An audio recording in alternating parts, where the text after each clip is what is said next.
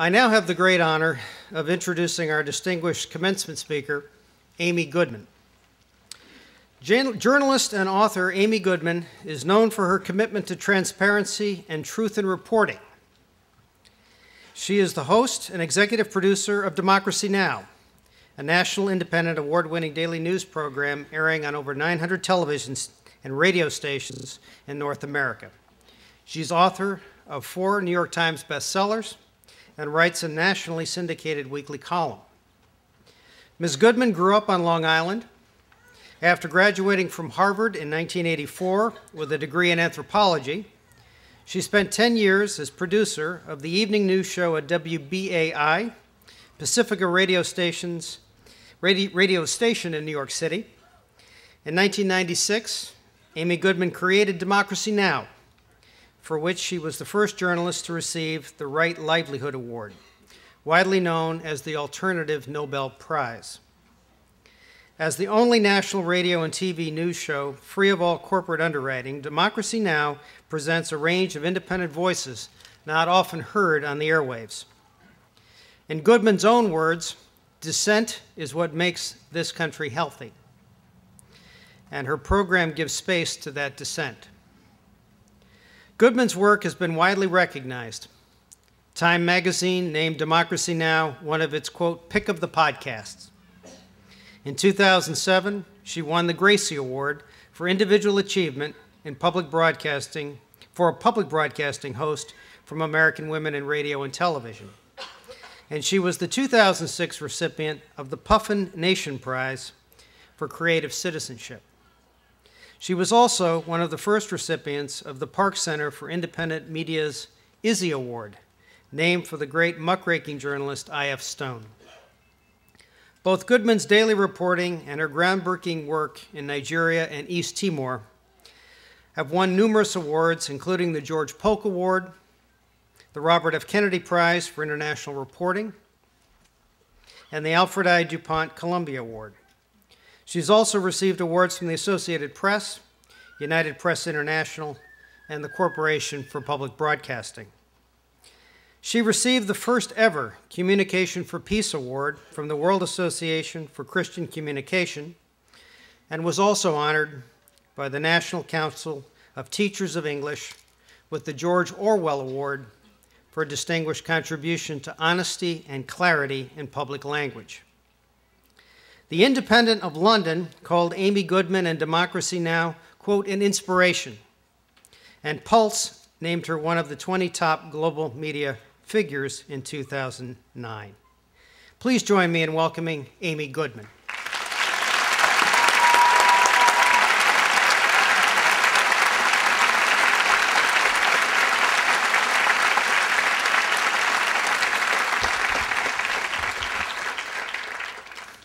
What an honor it is to be here with all of you, and congratulations to the graduates.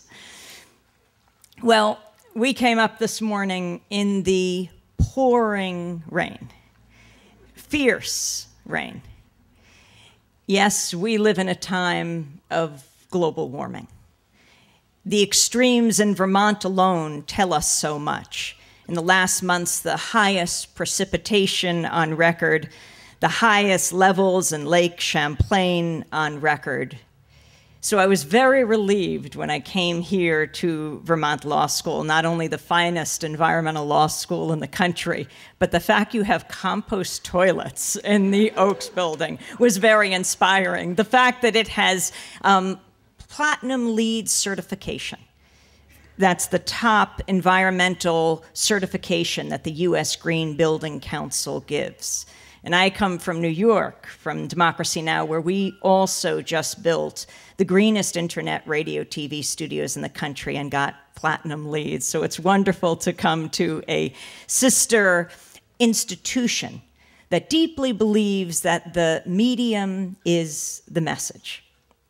And to come to a state that is a land of so many firsts among them, the Vermont legislature, the first to bestow upon itself the right to determine the future of its own nuclear power plant, the only state in the country to be able to do this. basically to put environmental policy in the hands of the people. That's, I think, what you study here at Vermont Law School, how, how to carry that forward. And as I came here in the pouring rain, I thought about what a difference it would make if the meteorolo- meteorologists we see on television, like the weathermen and women who um, give us the weather, what we all tune into on all the networks, on all the radio stations. You know, on the TV, how it flashes in the lower third, extreme weather, severe weather. And this is important. This is what we need to know when we have to put on our mud boots. Um, but what if they flashed also two other words climate change, global warming? Because there actually is something we can do about the weather.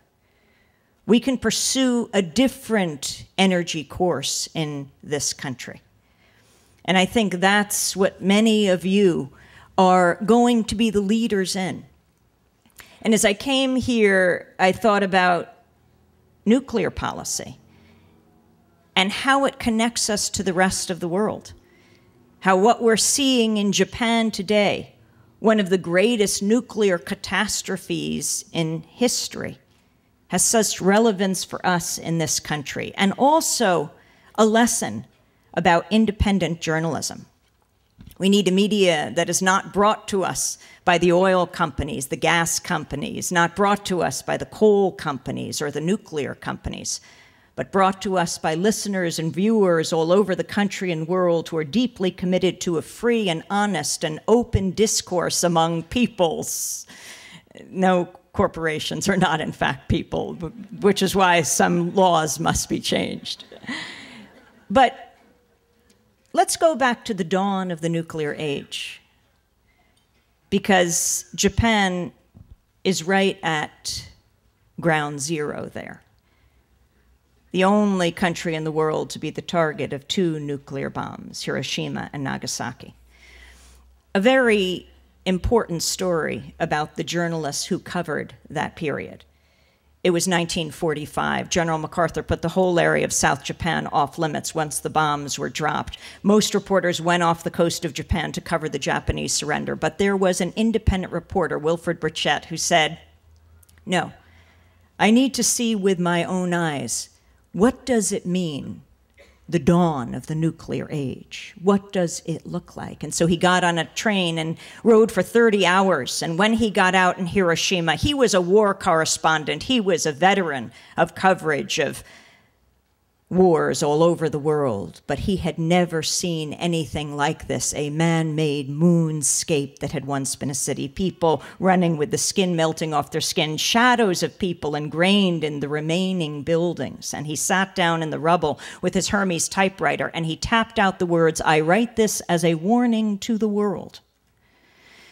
This rocked the War Department in the United States. It wasn't called the Pentagon at the time, it wasn't called the Defense Department, as it's now come to be known, but the War Department. And they, well, had some media at their disposal that was very powerful. They had the New York Times. William Laurence wrote a series of articles. He was a New York Times writer, also on the payroll of the Pentagon of the War Department. He was writing the press releases for Secretary Stimson, extolling the virtues of the nuclear bomb, how remarkable it was. The Times had a headline No radiation found at Hiroshima. When Wilfred Burchett was writing, he didn't even have the language to say there's some kind of atomic sickness here. Wilfred, William Laurence wrote a series of 10 pieces, and he won a Pulitzer Prize for his reporting. The first embedded reporter. I think the Times should be stripped of that Pulitzer. It is so critical that we have a media that is independent, and also important to understand the power of a media that makes neighbors of those very distant from us just by letting people speak for themselves. You know, the Secretary of War at the time was Secretary Stimson, and when he was handed the list of the nuclear targets, the bomb targets, he had to choose two. He saw Hiroshima, he saw Nagasaki, he saw Kyoto. And he struck Kyoto off the list because he said, My wife and I have been there, a beautiful city. We've known the people, the landmarks. And he took it off the list. How unfortunate that the people of Hiroshima or Nagasaki had not gotten to host the Stimsons. But there is a deep, profound lesson in that. If you know someone, you are less likely to want to hurt them. And that's the power of independent media. I see the media as a huge kitchen table that stretches across the globe that we all sit around and debate and discuss the most important issues of the day war and peace, life and death. And anything less than that is a disservice to the servicemen and women of this country because they can't have these debates on military bases. They rely on us and civilian society to have the discussions that will lead to the decisions about whether they live or die, whether they are sent to kill or be killed. Anything less than that is a disservice to a democratic society. There is nothing more profound than hearing a Palestinian child or an Israeli grandmother, an aunt in Iraq or an uncle in Afghanistan describe what it feels like to be at the target end. Reporters, all too often, especially embedded reporters, report from the trigger end and it's important when we make decisions that determine the fate of the earth that we see the effect of our policy, the United States, the most powerful country on earth, from all sides. Which is why I was so deeply concerned about what happened at the Republican convention in St. Paul in 2008, when over 40 reporters, journalists, photographers, videographers were arrested as they covered the protests in the streets. I was among them along with my colleagues at Democracy Now!, Sharif Abdel and Nicole Salazar. It was the first day of the convention, and it was going to begin in the afternoon. It was September 1st. It was Labor Day. It was a beautiful blue sky day. It was a Monday. In the morning, a mass protest was held from the St. Paul uh, City Hall to the Xcel Center where the convention was taking place. And the protest was led by soldiers, a number in uniform, and they were in, risking a lot to be there. Some who had served, others who had refused to serve saying no to war. And thousands of people across the political spectrum marched with them, as they had at the Democratic Convention in Denver as well. And they marched to the Xcel Center. We were covering them. I then went off to the convention center to interview the delegates, uh, especially from the hottest state at the time, from Alaska. And my colleagues went to digitize tape. Nicole and Sharif in the TV studio we were broadcasting from, and they heard a commotion outside. They ran outside. There were riot police, there were protesters. Nicole was filming, Sharif was holding the microphone. And all I know is that I got a call on the floor of the convention that I better come quickly to 7th and Jackson because they were being arrested and they were being hurt. I raced off the floor of the convention center down to this parking lot where the riot police had surrounded the area and contained it. I knew I just had to get our reporters out. I had all my credentials on that give me national security clearance to interview presidents and vice presidents and delegates. And I ran up to the riot police and I said very quickly, You can see I'm an accredited journalist. My two colleagues also have the same credentials. They're inside. We need to have them released. It wasn't seconds before the riot police ripped me through the line, twisted my arms back, slapped the handcuffs on, pushed me up against the wall and onto the ground. I was arrested, the misdemeanor interfering with a peace officer, if only there was a peace officer in the vicinity. I was demanding to find Sharif and Nicole to be, for, to be brought to them. I couldn't see Nicole. I saw Sharif across the parking lot. I was finally brought to him. His arm was bleeding. He was handcuffed as well. We were saying, You must release us. We're journalists. We are here to cover these protests. Whereupon the Secret Service came and ripped our credentials from around our necks. I was brought into the police wagon. There was Nicole. She described what happened when she went down to film with Sharif. The riot police were coming at her, and as they were shouting, On your face, she was shouting back as she was filming, not planning to film her own violent arrest. Press, press, showing her press pass as she held up her camera and filmed. And they came at her and they fiercely pushed her down on the ground, knee or boot in her back, She's on her face and they're pulling on her legs, so they're bloodying her face. And the first thing they did with the camera was take the battery out, if you were wondering what they wanted to stop happening. They wanted the filming of what was happening to stop happening. I was brought to the police garage where they erected cages for the protesters, and Sharif and Nicole were brought off to jail. Now, it was because of grassroots response that we were eventually released that night. I mean, there were thousands of calls that came in. It's the power of independent media. The YouTube video of uh, our arrest went up online immediately. It became went viral, the most watched YouTube video of the Republican convention for the first two days, and it released us. First me, then Nicole and Sharif. Sharif was in jail with the AP photographer, and it showed the power of the response because Sharif got out and the AP photographer did not get out at that moment. I was brought then back to the convention center. All the networks wanted to interview me. I was in the NBC skybox. When the interview was done, an NBC producer came up to me and said, I don't get it. Why wasn't I arrested? I said, Oh, were you outside covering the protest? He said, No. So I said, Well, this is the thing. I'm not getting arrested in the skybox either. Um, as Woody Allen says, 90% of life is just showing up. You know, you got to get out there. And this is very, very important. Because think of young reporters who are sent by their editors to cover the convention. If they think they'll go outside and get arrested, as more than 40 reporters were, they're not going to risk it. It's not only a violation of freedom of the press, but a violation of the public's right to know. We shouldn't have to get a record when we put things on the record. And so my colleagues and I have sued the uh, federal and state authorities, the police in Minneapolis, St. Paul, because it is such a critical point. Your right to know determines policy in this country.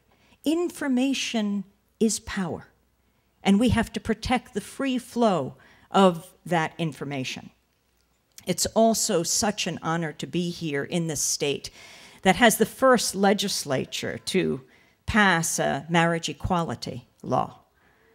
You have something very, very important to be proud of. And just a few years ago, when that debate took place in the Vermont legislature, how humbled we all were. I was in Tennessee when we interviewed a 12 year old girl named Evan Orlick Jetter. You may remember her testifying before the Vermont legislature. Um, she said, I'm 12 years old. I live in Bedford Center. I have a wonderful family. I live with my little brother, my grandma, my two moms, who are with me all the time and support me in whatever I do. I love them very much, and I wish that having to stand up here right now in front of this committee wasn't an issue anymore. She said, We need to reach the promised land. Vermont's freedom to marry can help us get back on track.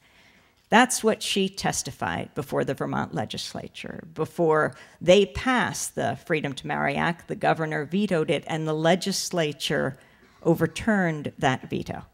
We were in Tennessee broadcasting Democracy Now! from Eastern Tennessee University on that day, and we had Evan on by satellite. And I asked her, How do you feel, Evan? 12 years old. And she looked up into the camera and said, I feel honored that I could help change history. It was really a big moment for me. And it just made me think of the great anthropologist Margaret Mead, who said, Never doubt for a moment that a small group of committed people can change the world. In fact, it's the only thing that ever has, she said. Yes, what a difference a small person or a large group of people can make.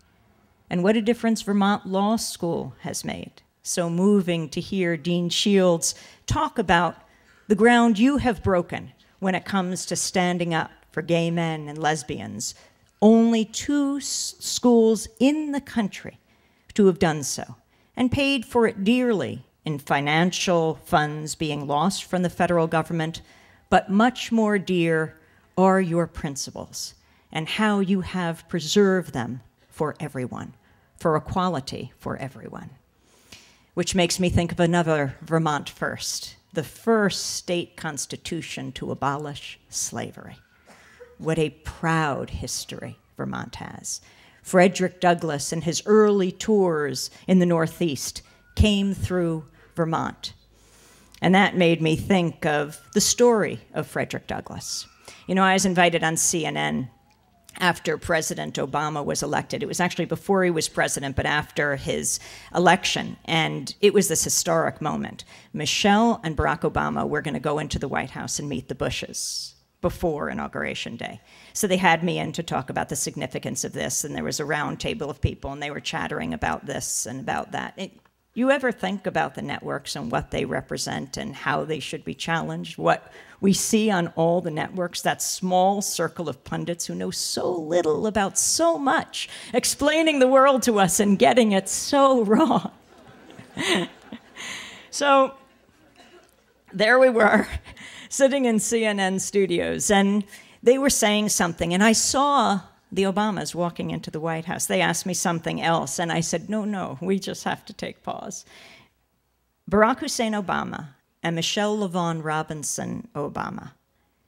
She is the descendant of slaves, which means their daughters are the descendants of slaves. In this land with a history of slavery, will soon live in the White House, the most famous house on earth that is built by slaves. We must just take pause.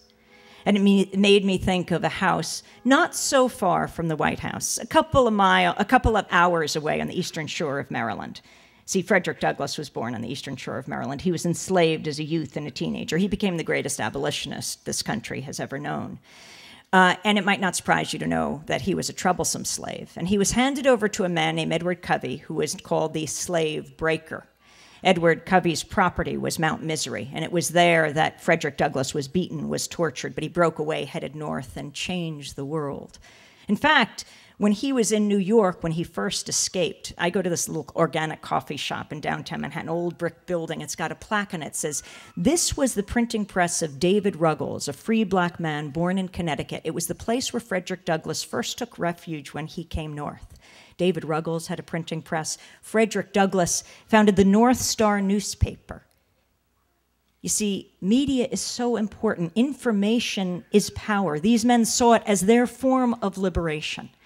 You know, Mount Misery today in St. Michaels, Maryland, is owned by Donald Rumsfeld. He bought it in 2003 when he was Secretary of Defense to be near his close friend, Vice President Cheney.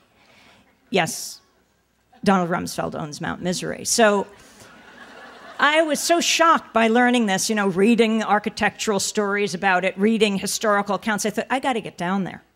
So I went with my colleague Dennis Moynihan down to Maryland before I started actually talking about it in speeches like these.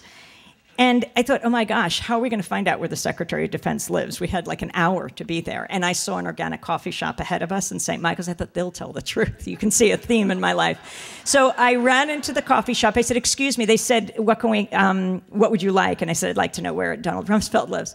And they said, oh, just go out the road. Um, you'll hit Mount Pleasant Road. Don't go down that road. Make a right and another right. You'll hit Mount Misery Road. Go down the road, and that's where he lives. So we went down the road, didn't go down Mount Pleasant, took a right and another right. It seems we couldn't go right enough. And uh, at the end of that road, we saw the black tinted windows of the SUV of the Secret Service, and we knew we'd arrived. So I got out quickly, and I have my video camera, and I'm zooming in as they're zooming out. And I'm thinking, does Donald Rumsfeld understand the significance of where he lives? But sure enough, my camera lands on this stake in the ground next to the driveway, and it says Mount Misery. And so we head off to this old black church. It's Sunday morning. The folks are just about to have Mass. It was an ancient church. And they were in the um, sanctuary. And I went up to an older woman. I said, Excuse me, I just wanted to ask you about the historic place you live in. I mean, here, Frederick Douglass was born. He was tortured here at Mount Misery. Now, Donald Rumsfeld owns Mount Misery, you know, known for torture himself. And what do you make of this? And she said, I can't comment right now. We're in church. So, from Mount Misery to Mount Hope, I was speaking in upstate New York near Rochester. And at the end of the talk, a young woman student came up to me and said, Can I take you to Mount Hope Cemetery? I'd like to show you Frederick Douglass's gravestone.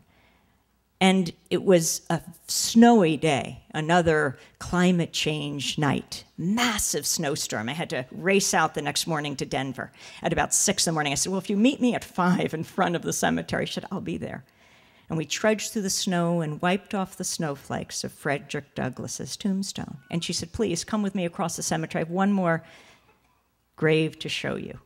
We slided our way across the cemetery, and there was this tombstone of Susan B. Anthony. Susan B. Anthony. and Frederick Douglass. They were not just allies, they were friends. When I gave this talk at Wesleyan University and described this, a woman said to me, And did you go near Susan B. Anthony's house? Because there is a statue, not of a general, but of Susan B. Anthony and Frederick Douglass having tea together. See, Frederick Douglass was not just an abolitionist, he was a great feminist. He seconded the resolution at the Seneca Falls Convention of 1848 for women to have the right to vote. And Susan B. Anthony supported abolition, the abolition movement, the women's rights movement, the civil rights movement. These are the movements that have made this country great. Dissent is what will save us. And the media is the place with real discussions and debates to have dissent commonplace. When we make it commonplace, that will make us a greater nation, the great nation that we certainly can be. I wanted to end briefly with one last story as we talk about you graduates going out into the world. This year is the 20th anniversary of the massacre of Santa Cruz in East Timor. Some of you might not even know where East Timor is, and that wouldn't be shocking. It's because the media hardly covered it. It's not near Baltimore, it's actually about 300 miles above Australia. And in 1975, the Indonesian military invaded, armed, trained, and financed by the United States. And for the next quarter of a century, they committed one of the greatest um, genocides of the 20th century. They killed off a third of the Timorese. Um, I had a chance to go there. The Indonesian military shut the country off to the outside world for the first 17 years or so. Then, because of international pressure, some people were able to get in. I got a chance to go there in 1990 and 1991. And in 1991, I was there with my colleague, a brave, courageous journalist named Allan Nairn. And it was November 12, 1991. In the morning, a thousand people gathered for Mass because they were commemorating yet another young Timorese who was killed by the Indonesian military. They gathered, gathered at the local Catholic church for Mass. And then the children and the teenagers, the high school girls and boys, pulled out banners from their Catholic school blouses that they had written on bed sheets that said things like, Why the Indonesian army shoot our church? And they appealed to President Bush. It was President George H.W. Bush at the time. They appealed to the United Nations. They appealed to anyone to stop the killing. And they walked through the streets of Dili, the capital of East Timor, through this geography of pain where in every other building, whether it was a police barracks, even at the back of a hotel or an officer's residence, people were disappeared, women were raped, uh, soldiers um, had hurt the Timorese people. So they went to, the people marched, a cross section of Timorese society to the cemetery where so many were buried. In this land where there was no freedom of press, no freedom of assembly, no freedom of speech, they dared to march with their hands up in the V sign. Girls in their Catholic school uniforms, old women with their traditional Timorese garb, boys with their Catholic school shorts, and old men. East Timor marched. And they marched to the Santa Cruz Cemetery. We were following them. They were risking everything. And I said, You are willing to die for this? And they'd say, For my mother, for my father, for my village. It was wiped out. It was about 8 o'clock in the morning on November 12th. They were at the cemetery and soldiers marched up, 12 to 15 abreast. They were carrying their USM 16s at the ready position. The people couldn't get away because there were high walls on either side of the road for the cemetery. Some at the very back could run, but no one could escape the front. And the soldiers marched up. Allan and I walked to the front of the crowd because although we knew they'd committed many massacres in the past, the Indonesian military, they'd never done it in front of Western journalists. Maybe just our presence could head off the attack. I always hid my equipment. Any, any Timorese caught talking to us could be taken away or disappeared. But now I wanted to make clear who we were. I held up my microphone like a flag, slung my radio cassette over my uh, arm. Allan put the camera above his head, and we marched to the front. We walked to the front of the crowd. The soldiers marched up, 10 to 12 abreast. They swept around the corner, past us.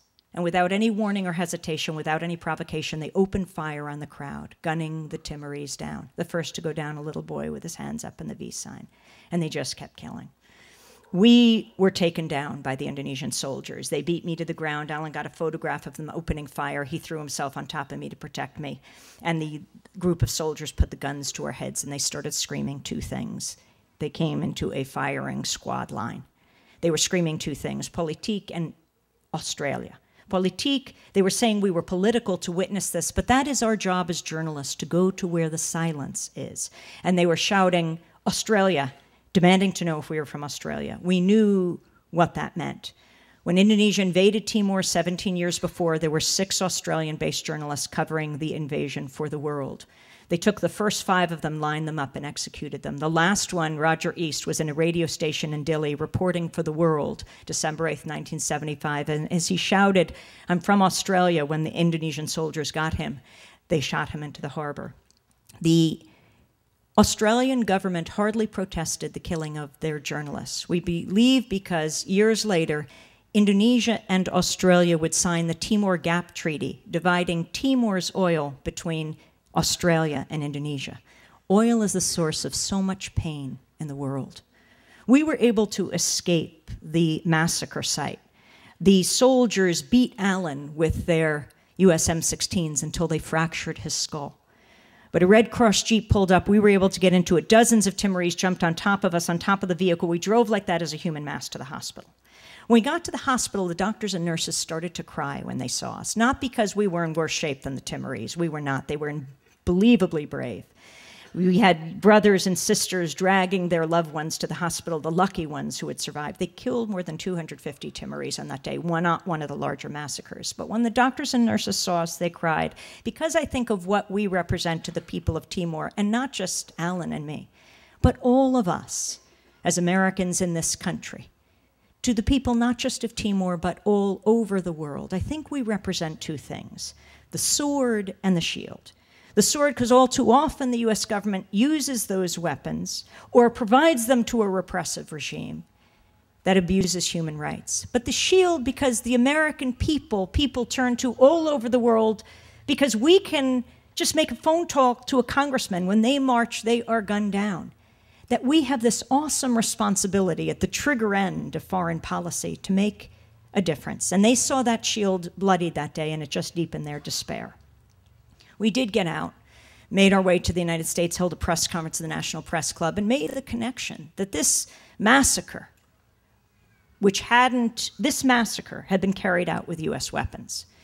A nationwide movement grew up in this country not only to stop arming the Indonesian military, but to stop arming human rights regimes around the world. And in 1999, the people of Timor got to vote for their freedom in a UN referendum, and it was a remarkable day when they voted. Three years later, I got a chance to go to Timor when the newest nation in the world was founded, the Democratic Republic of East Timor, and it was amazing. It was midnight. Then Kofi Annan, the Secretary General of the United Nations, got up, gave his speech, and then the founding president of East Timor, Xanana Gusmao, got up and he unfurled the flag of the Democratic Republic of East Timor. He had been imprisoned by the Indonesian military for years. It was a remarkable movement. A 100,000 Timorese had come to celebrate the establishment of this country. You could see the tears, the light of the fireworks display reflected in their tear stained faces. And they thank people all over the world for helping them, for their solidarity, especially people in the Western, most powerful countries for telling their government to stop funding, financing, and arming the regimes that are killing civilians. And it is such an important lesson to us all. Here was this nation of survivors. They had prevailed, but an unbelievably high price, but they had won.